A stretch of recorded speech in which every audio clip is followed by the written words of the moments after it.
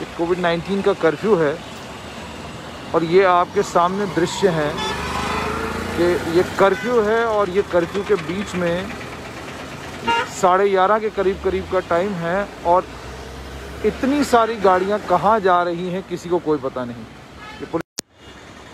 ये कोविड 19 के कर्फ्यू के बीच में ठीक केनाल रोड के दृश्य हैं। आप केनाल रोड के दृश्य देखिए, ये पुलिसकर्मी खड़े हैं। किसी से ये पूछा नहीं जा रहा कि आप आखिरकार घर से निकले हैं तो कहाँ के लिए निकले हैं? और ओवरनाइट में ये क्या दृश्य है जो हम देख रहे हैं?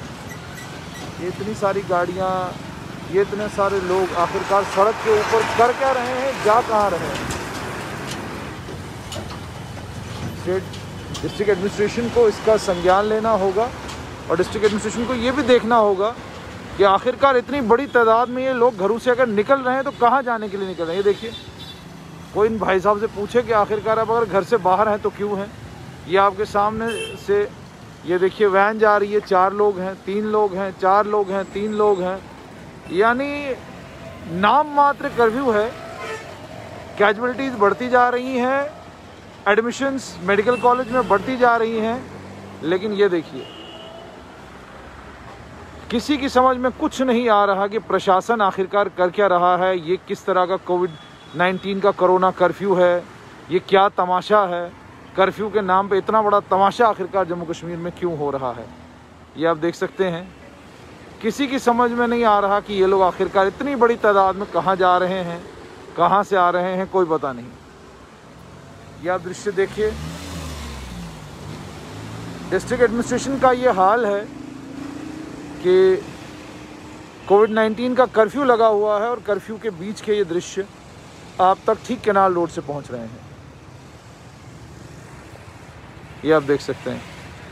कहाँ जा रहे हैं ये लोग? क्यों जा रहे हैं? कोई पता नहीं, लेकिन हमको घर से निकलना है। हमको घर पे नहीं बैठना है। और मैं पहले भी बता चुका कि इसमें सबसे बड़ा contributor government medical college Jammu का प्रशासन है, जिन्होंने कोविड 19 वार्डों में पेशेंट के साथ अटेंडेंट को जाने की पूरी पूरी इजाज़त दे रखी है। ये आप देख सकते हैं।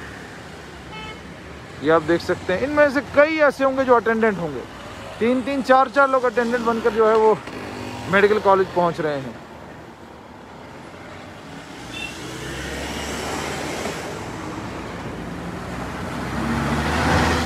ये आप देखिए, कहाँ जा रहे हैं ये लोग, कोई इनसे पूछे, और ये किस तरह का कोरोना कर्फ्यू है, ये किसी की समझ में नहीं आ रहा। इसको कोरोना कर्फ्यू कहें या कोरोना कर्फ्यू मज़ाक कहें ये अब प्रशासन तय करे।